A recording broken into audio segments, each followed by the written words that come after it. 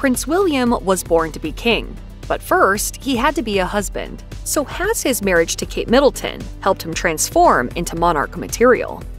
Prince William and Catherine Middleton's children, Prince George, Princess Charlotte, and Prince Louis, were born in 2013, 2015, and 2018, respectively, and have garnered considerable attention.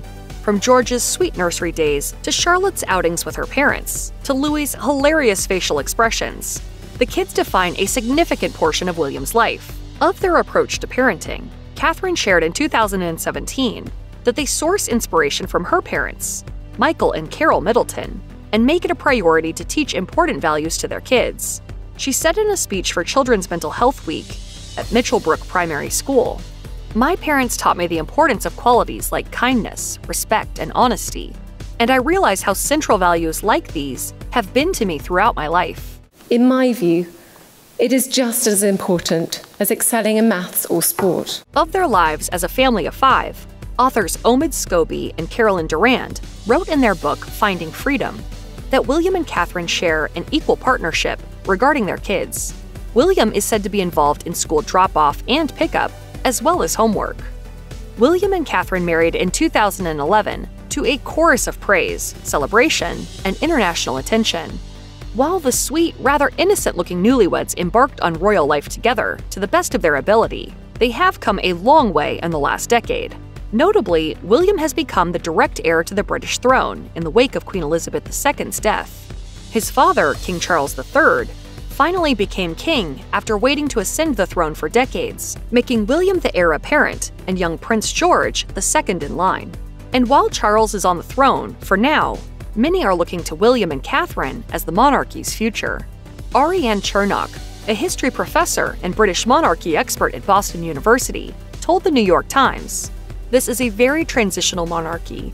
I think we're going to have to wait honestly until William and Kate, until we see more significant updating, but always, of course, also attuned to and mindful of tradition. Public opinion is certainly on William and Catherine's side as well. The YouGov polling of the British monarchy has Catherine's favorability at 68%, following only the late Queen Elizabeth. William immediately follows at 66%, while Charles is down in the number 7 spot with a 42% approval rating. The world stood in silence as Prince William, just 15 years old at the time, walked behind his mother's casket. Diana Spencer was a force to be reckoned with. And perhaps one of the biggest differences we've seen in William since he married Kate Middleton has been his willingness to open up about his childhood experiences.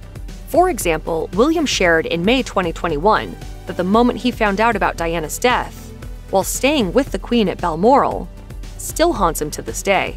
Still in shock, I found sanctuary in the service at Crathie Kirk that very morning. And in the dark days of grief that followed, I found comfort and solace in the Scottish outdoors. As a result, the connection I feel to Scotland will forever run deep. And yet, alongside this painful memory is one of great joy.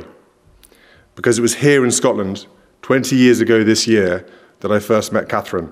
William continues to honor Diana to this day, and even Kate has channeled the late princess with her wardrobe choices throughout the years. Prince William has enjoyed a wealth of public support amid his marriage to Catherine, now the Princess of Wales. The couple's approval rating are the highest among the living royals, only surpassed by the late Queen Elizabeth herself.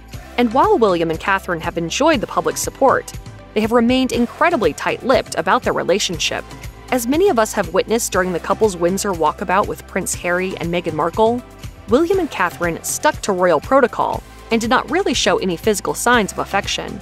Just a peck on the cheek between these two makes the headlines, and they consistently maintain a rather polished and stoic public display. So, why is that? That's a very good question. Lancaster University lecturer and the author of Running the Family Firm How the Monarchy Manages Its Image and Our Money Laura Clancy explained the couple's dynamic with the public to the New York Times, saying, We don't really know what their personalities are like. We don't know that much about Kate at all, really, or William. But you think you do, and that's important. It's the feud that has generated headlines for years now. Prince William and Prince Harry, once attached at the hip and united in grief, rarely see eye to eye these days, and Catherine Middleton has witnessed it all go down. A complete timeline of the conflict between the brothers and their respective wives reveals that the initial upset began back in November 2018. A journalist at the time reported that Harry was bothered by William and Kate's unwillingness to welcome Meghan Markle into the royal fold, prompting then Prince Charles to step in and try to smooth things over. While William's marriage to Kate likely had nothing to do with the eroding relationship, the Princess of Wales was said to have taken part in the ongoing tension. During their sit down interview with Oprah Winfrey, Harry and Meghan made allegations about their time as royals, but Meghan asserted that it was Kate who made her cry over wedding details, not the other way around, as the press had initially reported. She was upset about something pertaining to, yes, the issue was correct about flower girl dresses, and it made me cry. Of the couple's brief reunion amid the mourning of Queen Elizabeth, a source told In Touch Weekly, you would have thought Elizabeth's passing would have brought them closer as a family, but it's not the case. Hopefully, in time they'll heal.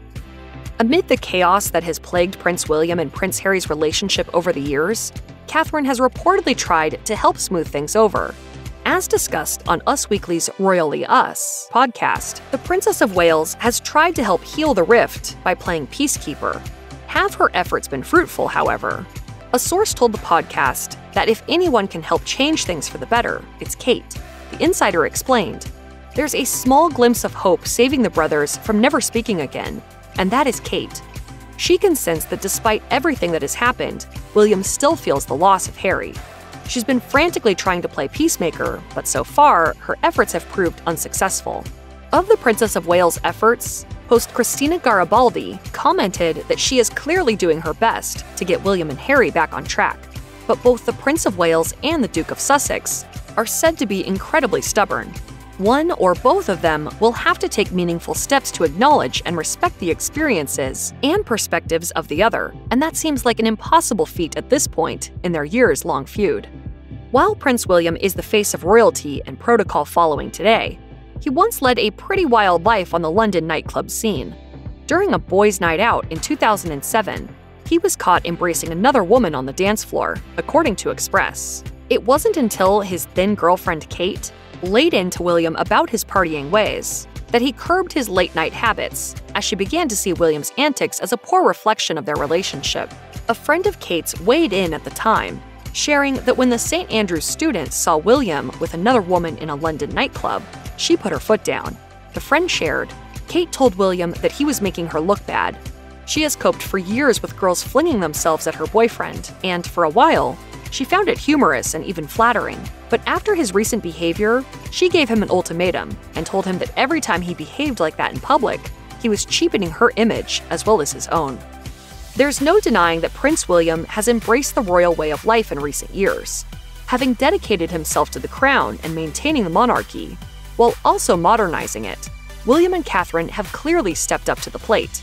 It's not just royal watchers and experts who have picked up on the changes within the couple the Washington Post spoke to members of the British public about the future of the monarchy and the idea of Charles as king, and many were supportive of skipping Charles entirely and jumping straight to William and Kate as royal leaders. One member of the public who weighed in told the Post that Charles comes across as having a holier than thou attitude, not appreciating the position he is in.